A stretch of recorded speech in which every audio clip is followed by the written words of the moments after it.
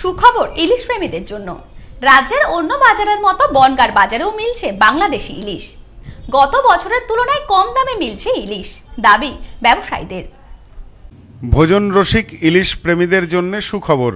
রাজ্যের অন্যান্য বাজারের মতো বনগার বাজারেও দেখা মিলেছে বাংলাদেশি ইলিশের।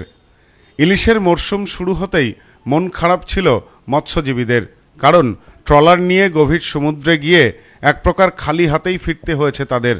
অল্প বিস্তর যে মাছ জালে পড়েছে, নিজেদের খরচ, জ্বালানির খরচ বাঁচিয়ে সেই মাছ বাজারে বিক্রি হয়েছে অনেক বেশি দামে। কার্যত ইলিশের দাম শুনেই ফিরতে হয়েছে ক্রেতাদের। সম্প্রতি বাংলাদেশ সরকারের পক্ষ থেকে ঘোষণা করা হয়, বাংলাদেশ থেকে ভারতে রপ্তানি হবে ইলিশ মাছ। বাংলাদেশ সরকার গত রবিবার এই ঘোষণা করে। সোমবার সন্ধ্যার পর পেট্রাপোল সীমান্ত পেরিয়ে ভারতে ঢুকতে থাকে ইলিশ বোঝাই ট্রাক। জানা গেছে, প্রায় ছেচল্লিশটি রপ্তানিকারী সংস্থার মাধ্যমে ধাপে ধাপে প্রায় তেইশশো টন মাছ আসবে ভারতে। বাংলাদেশের ইলিশের চাহিদা বরাবরই বেশি। রপ্তানি হওয়া বাংলাদেশি ইলিশ ইতিমধ্যেই রাজ্যের বিভিন্ন বাজারে এসেছে।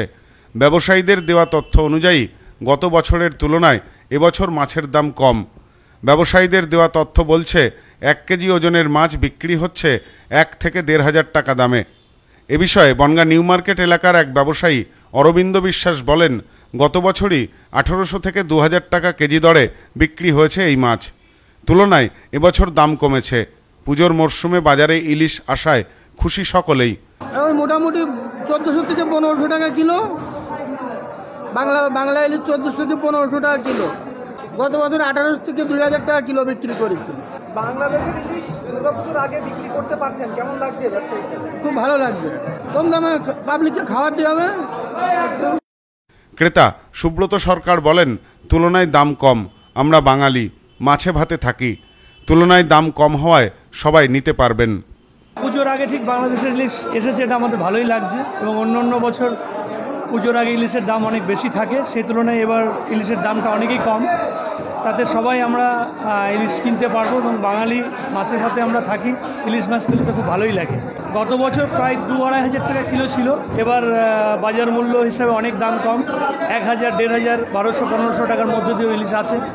সেখানে সবাই আমরা নিতে পারব। সাধারণ মানুষের পারগতার মধ্যে বাংলাদেশের ইলিশ দামটা আছে এবার। বনগা নিউ মার্কেট এলাকার মাছ ব্যবসায়ী বাবু হালদার সারা বছর ইলিশের পাশাপাশি অন্যান্য মাছ বিক্রি করেন। বাবু বলেন সবে তিন দিন হলো বাংলাদেশ থেকে মাছ আসা শুরু হয়েছে। দাম আরও কমবে বলেই মনে করা হচ্ছে। বেশি মার্জিনে লাভে বিক্রি নয়, কম লাভে বিক্রি হচ্ছে।